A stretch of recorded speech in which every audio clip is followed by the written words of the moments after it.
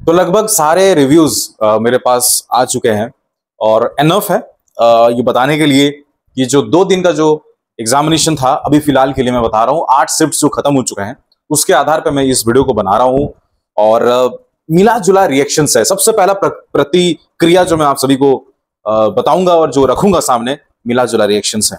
और रिएक्शन इस प्रकार का कि जिस शिफ्ट में क्वेश्चन तो टफ पूछे गए थे, वहाँ पे भी लोगों ने पचहत्तर बना लिया है।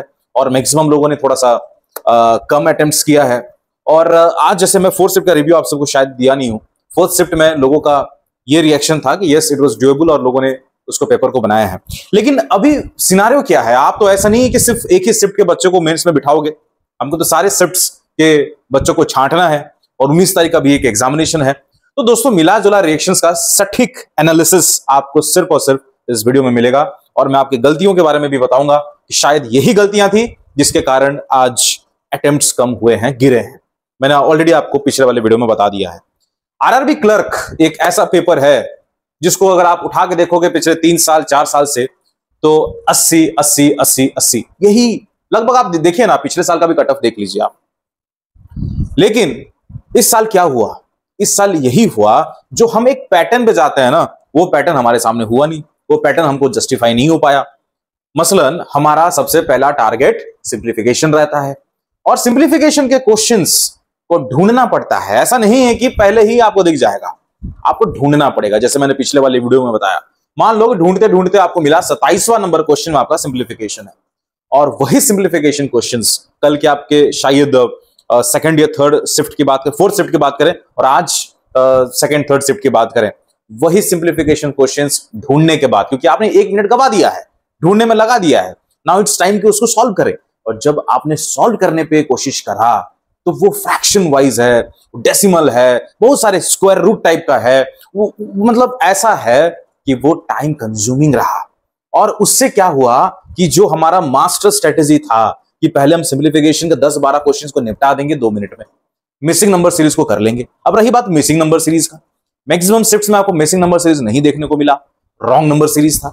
तीन तीन लेटर्स के रॉन्ग नंबर सीरीज़ आप मतलब मुश्किल था यार। मतलब it was not like Arabic clerk level का पेपर रीजनिंग का मेरे को कहीं पे कंप्लेन किसी का नहीं आया।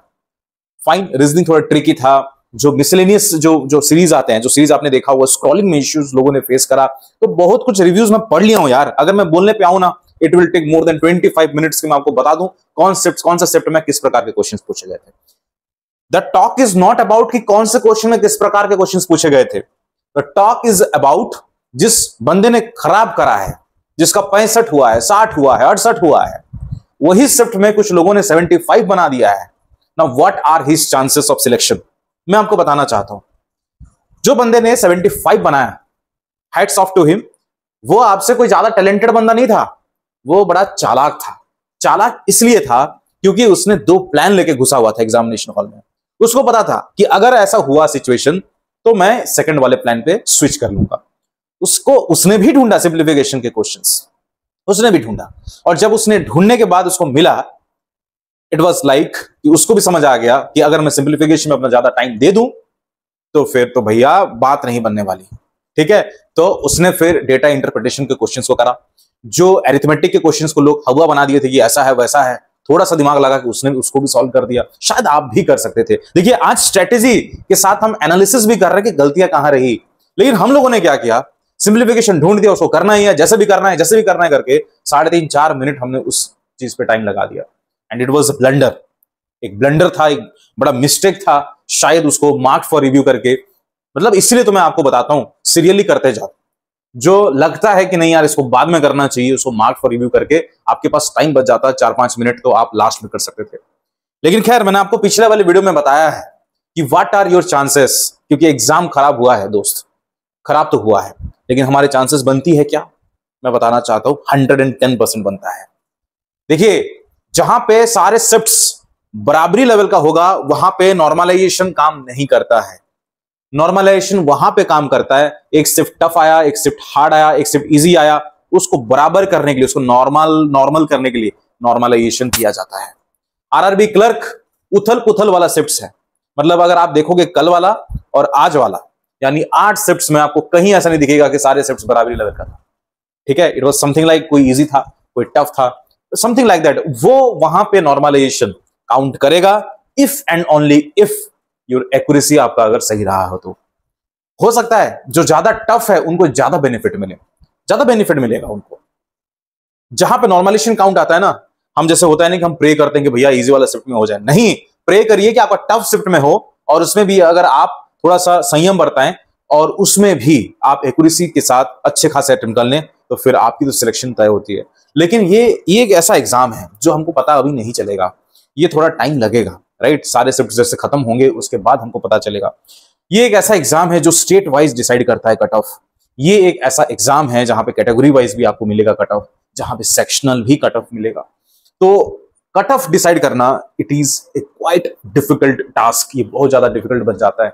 लेकिन रिव्यूज़ को देख के, सारी चीज़ों को समझ के, लग तो रहा है दोस्तों की जो पिछले साल जिस प्रकार का ट्रेंड था कि कुछ स्टेट्स में शायद 79 79.5 जो कट ऑफ़ थी, वो शायद इस साल, मेरे को लगता है sixty sixty two seventy percentage chance ऐसा नहीं होने वाला है ठीक है?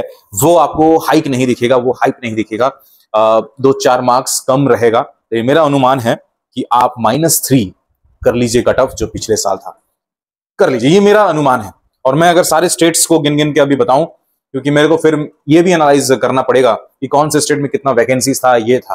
तो it will be again a very difficult task लेकिन मेरा अनुमान ये है माइनस थ्री आप कर लीजिए आपका वही कट ऑफ़ जाएगा। लेकिन आज जो आपने अपियर करा that is not your mark that is your attempt और वो अटेम्प्ट आपके मार्क्स कन्वर्जन में सारे शिफ्ट को खत्म होना पड़ेगा। उसके बाद पता चलेगा। हो सकता है कि जो बंदा 69 का होगा, वो 74 75 उसका मार्क्स आ सकता है। It will happen for sure और वही बंदे का सिलेक्शन होगा, लिखित में ले लीजिए आप। अगर आपके सिर्फ़ टफ में आई थी और आपने एक्यूरेसी के साथ अच्छा बनाया है कॉन्ग्रेचुलेशन पहले से, क्योंकि आप तो पार हो जाओगे। लेकिन विश्वास है विश्वास इस बात का कि मेन्स लिखेंगे। और मेन्स के लिए आपको, मैं आपको फिर से बता रहा हूँ दोस्तों, हमारे पास समय नहीं है। As soon as the time is passing हम सीधा भी आईबीपीएस क्लर्क की तरफ़ बढ़ेंगे और आईबीपीएस क्लर्क में इंग्लिश पूछा जाता है। इंग्लिश को एक आपको थोड़ा सा फिर फॉर्म में आना पड़ेगा बिकॉज़ इंग्लिश को आपने शायद पंद्रह दिन, बीस दिन, पच्चीस दिन पहले आपने छोड़ दिया है। तो इंग्लिश पे हमको ज़्यादा थोड़ा ध्यान देना पड़ेगा। आप गाइडली का मॉक टेस्ट खरीद लीजिए। वहाँ पे जितने भी सारे टेस्ट सीरीज़ हैं, वहाँ पे आपको सारे टेस्ट सीरीज़ खुल जाएँगे। उसको खरीदीजिए। जो भी प्राइस दिख रहा है, मेरा कूपन कोड लगाइए आप। एस एफ़ वाई ट्वेल्व तो आपको और एक्स्ट्रा बारह परसेंट ऑफ़ दिख जाएगा। रगड़ के प्रैक्टिस करिए। थोड़ा टफ प्रैक्टिस करिए। अभी प्रैक्टिस करेंगे तो अच्छा रहेगा। और एक और चीज़, अभी आपको लगता है कि you are making it to means examination तो फिर आपको कंप्यूटर पढ़ना चाहिए। बिकॉज़ इसका वेटेज आपको हर एक वीडियो में बता रहा हूँ दोस्तों 20 मार्क्स का वेटेज है। और मेंस मार्क्स ही काउंट होता है सिलेक्शन में। तो आप एक काम करिए, मैंने 671 पेजेस डिज़ाइन करा है। और वो डिज़ाइन ऐसा है दोस्तों, वहाँ पे आपको सारे चैप्टर वाइज एमसीक्यूज मिल जाएगा। और आपको वहाँ थोड़े की नोट्स मिल जाएँगे। और 671 पेजेस मात्र फोर्टी नाइन रुपीज़ में चार दिन अच्छे से बैठिएगा तो सारे, सारी चीज़ें खत्म हो जाएँगी। लिंक मैं आपको डिस्क्रिप्शन बॉक्स में देता हूँ, जाके खरीद लीजिए। टेंशन मत लीजिए। मैं फिर से बता दे रहा हूँ, दोहरा दे रहा हूँ दोस्तों। मन बुला रहा है ना तो हो जाएगा। नमस्कार।